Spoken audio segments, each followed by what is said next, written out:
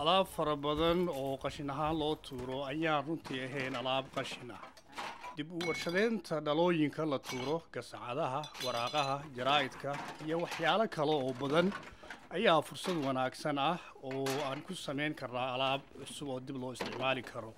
Halweel kuridku one sort uma baahno inaad kala soocdid dhammaan alaabta dib loo warshadeeyo.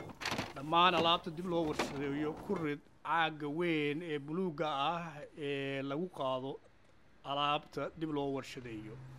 Waa hawl fudud.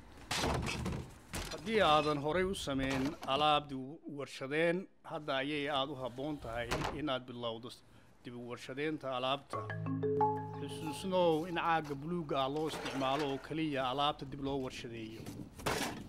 Alaabta aanan dib loo warshadeyn waxaad ku ridaa weelka qashinka caadiga ah lagu talagalay.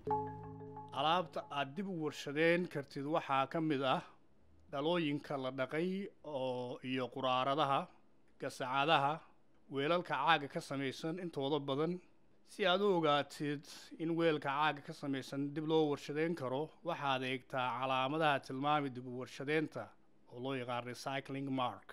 Magaaladu waxa ay qaadaa caagadaha leh tirada u dhexeeya hal ilaa toddoba namber alaabtaas waxaa ka mid ah koobabka nadiifta ah ee loo isticmaalo caanaha cigirta ah iyo kuwa burcadka ah lagu nadiifiyo.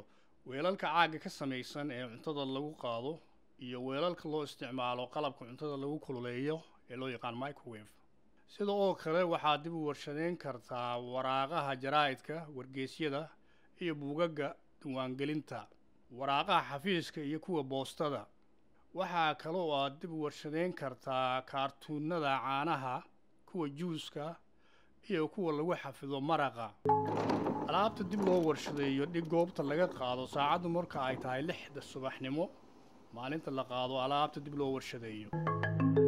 Wixii faahfaahin dheeraada ee ku saabsan dib u warshadeynta booqa internetka ee magaalada minneapolis ama waxaad wacdaa khadka telefoonka ee saddex hal hal